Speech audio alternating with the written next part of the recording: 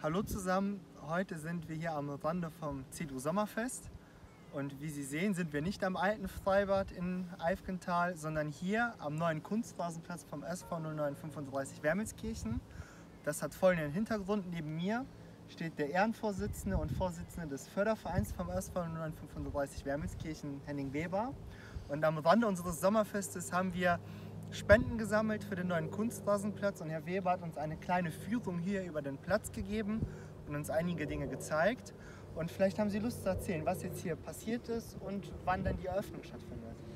Ja, die Eröffnung sollte, soll am 21.09. sein. Wir haben da eine Weißweiler 11 haben wir äh, da eingeladen und, und auch eine renommierte ältere äh, Mannschaft, die der Gerd Kenschke, unser früherer Trainer, mit äh, noch jemandem, der Co-Trainer Roger Lapschek, die beiden machen das.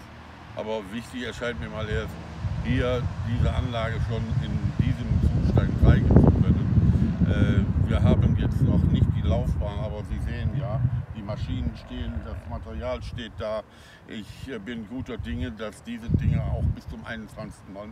fertig sind.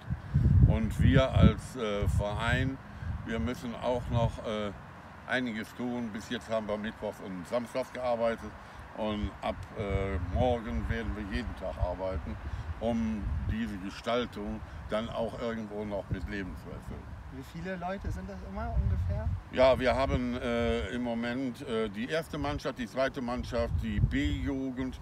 Der Arbeitskreis ist mit acht äh, äh, Leuten dabei. Es kommen aber immer mal wieder Leute, die nur mal gucken wollen und dann äh, sich der Jacke ausziehen und mitarbeiten. Das ist echt klasse. Ja, das ist wunderbar. Und wie lange schon?